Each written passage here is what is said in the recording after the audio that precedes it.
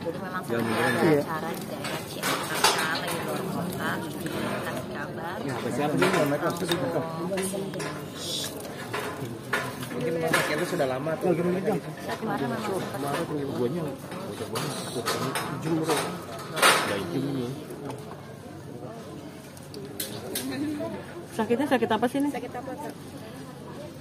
ya memang udah ada ininya lah apa gangguan di pencernaan nanti kalau misalnya sakitnya apa lebih lanjut biar nanti mana satu gigi aja yang menjelaskan Almarhumah wafat di usia berapa? Almarhumah wafat di usia berapa? berapa ya berapa ya 70-an lah ya kayaknya 70 Sosok almarhum seperti apa sih kak? selama ini mah mama itu tuh orangnya apa ya kalau bahasa Sundanya bodor gitu lucu gitu sering ngobrol lah kalau misalkan lagi di rumah Nana di rumah Jeje terus kan emang kita juga sering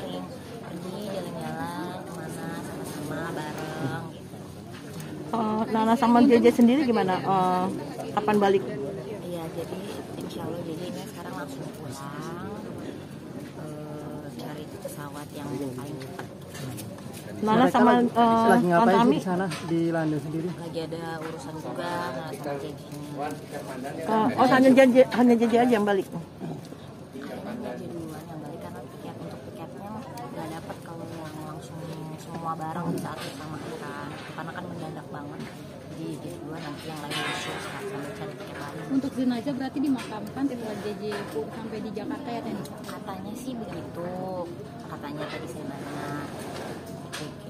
Ya itu kan keluarga ya yang Tahu. apa memutus Kalau Arafi sendiri kapan datang?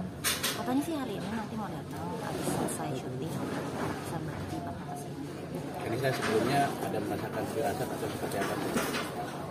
Kemarin tuh rencananya kan saya kebetulan lagi sibuk di luar kota memang kemarin memang udah niat nanti pas pulang ini nengok sama Ida ah Eh, dirawat berapa hari? Mas? ya Sempat jenguk nggak sih ke rumah sakit? tapi kan enggak mas Tapi JJ mengetahui bahwa ibu Indah sakit terus tetap ke luar negeri. karena ada urusan negeri juga bukan jalan-jalan emang ada kerjaan yang udah dikontrak udah lama jadi memang nggak bisa ditunda Sempat menjalani perawatan berapa lama sebelum? kemarin ini yang terakhir jadi sebelumnya kan memang udah pernah masuk rumah sakit terus sempat pulang nah ini kemarin tuh baru masuk mungkin sekitar lima harian kali ya masuk lagi gitu karena ternyata pasiennya eh, drop lagi gitu jadi harus diurus lagi Oke. ya